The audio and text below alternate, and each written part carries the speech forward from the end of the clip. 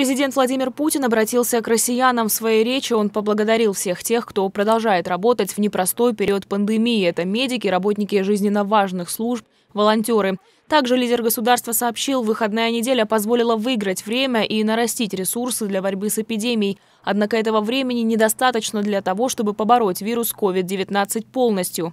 Как полагают специалисты-вирусологи, пик эпидемии в мире еще не пройден, в том числе и в нашей стране. В связи с этим мною принято решение продлить режим нерабочих дней до конца месяца, то есть по 30 апреля включительно. Несмотря на это, рабочие места и заработную плату сотрудников работодатели обязаны сохранить. Путин также подчеркнул, если позволит эпидемиологическая обстановка, период нерабочих дней скорректирует.